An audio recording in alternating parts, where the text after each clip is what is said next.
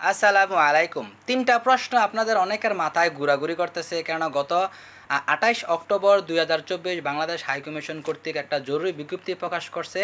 সেখানে বলা হয়েছে যে, প্রায় চব্বিশ হাজার আটাশিটা পাসপোর্ট, এমআরপি পাসপোর্ট আবেদনের প্রিন্টের জন্য পার্সোনালাইজেশনের সেন্টারে পেন্ডিং অবস্থায় আছে। এখনও প্রকার এটা প্রিন্ট হয় নাই। কিন্তু আমাদের বাংলাদেশের কাছে কেবলমাত্র দশ হাজার ফুয়েল পেপার আছে এবং তারা ব্যাখ্যা দিছে যে যে চব্বিশ হাজার আটাশিটা পাসপোর্ট না হওয়ার কারণ যে ফুয়েল পেপার মজুত নাই এবং মেশিনের যান্ত্রিক ত্রুটির কারণে এই পাসপোর্টগুলা দেরিতে হচ্ছে। তো এখন অনেকের প্রশ্ন আছে যে, এমআরপি পাসপোর্ট কি মালয়েশিয়া বন্ধ হয়ে গেছে?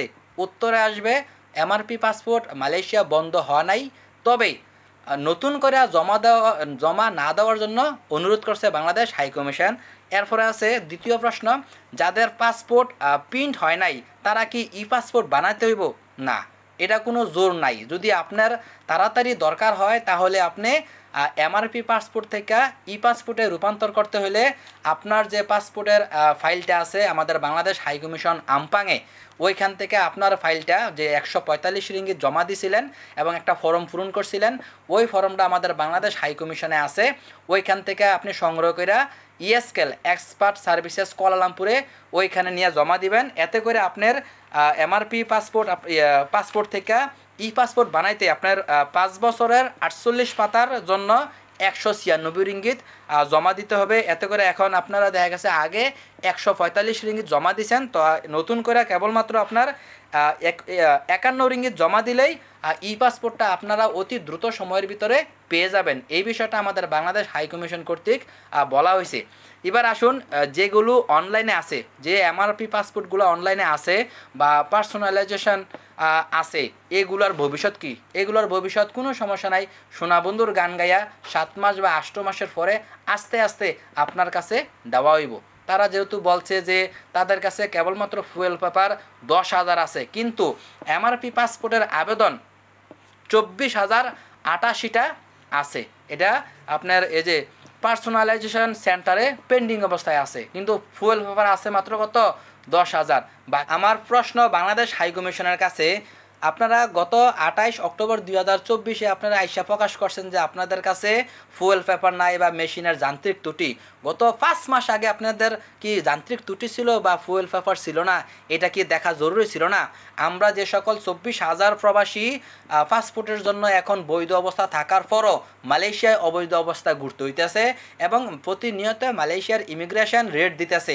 যে সকল ভাইদের কাছে স্পেশাল পাস আছে, তারা না হয় চলতেছে সুন্দর করে কিন্তু যে সকল ব্যয়ের বস বা এজেন্ট স্পেশাল ফার্স্ট ইমিগ্রেশন থেকে আইনা দেয় নাই, তারা যদি ইমিগ্রেশনের কাছে ধরা পড়ে কোনো জামিন আছে, কেরে তারা অবৈধ, তাদের কাছে কোনো ভিসা নাই। কারণ কি? পাসপোর্ট হাতে নাই। আর পাসপোর্ট হাতে না থাকার কারণ কি? আমাদের বাংলাদেশ হাই কমিশন।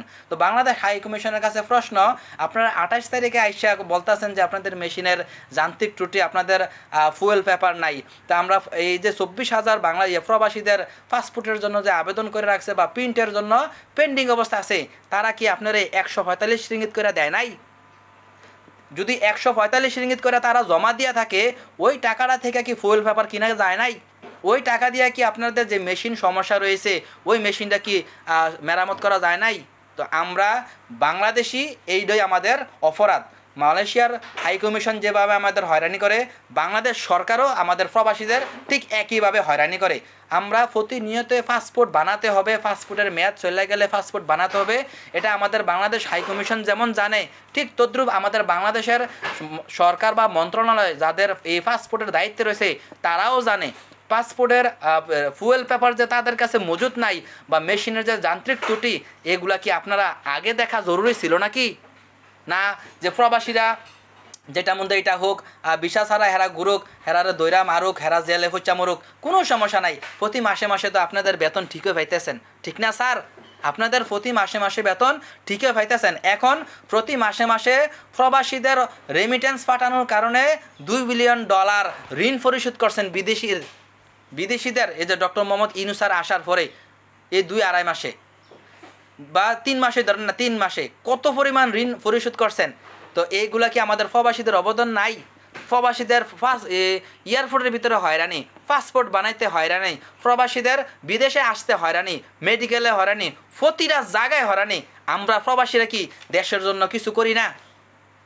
এই এই এই জিনিসগুলা আমাদের মন্ত্রণালয় বা আমাদের হাই কমিশনকে কে বুঝাইবো? একমাত্র আল্লাহ ছাড়া কেউ বোঝানোর মানুষ নাই। কেরে আমরা এই পাসপোর্ট ছাড়া বিদেশের বাড়িতে বৈধভাবে কাজ করতে পারব না। অনেক বাইয়ের ফাস্টফুডের কারণে কেবলমাত্র অবৈধ হবে এবং ইমিগ্রেশনের কাছে ধরা পড়লে তো কোনো জামিনই নাই। কেরে হ্যার অবৈধ। পুরোপুরি সমস্যার একটাই কারণ কি জানেন? সঠিক আইনের ব্যবস্থা। আমাদের বাংলাদেশের আইনের শাসন নাই। যার কারণে যার যেমন ইচ্ছা মতন রাস্তা চালাইতেছে, বাংলাদেশ হাই কমিশনে যার খুশি মতন চলতেছে, বাংলাদেশ পাসপোর্ট অফিসের মহাপরিচালক বা বলেন বা যেই বলেন, তার খুশি মতন চলতেছে প্রবাসীরা পাসপোর্ট পেল কি না পেল, তার কোনো দেখার কোনো বিষয় নাই। কারণ বাংলাদেশের কোনো আইনে তারা কোনো কিছু করতে পারব না। আর এই এই জিনিসগুলো এইভাবে হয়রানি বা এভাবে ফতারিত আমরা প্রবাসীরা হইতেছি, কারণ একটাই, আমরা বাংলাদেশি, এটাই আমাদের অপরাধ।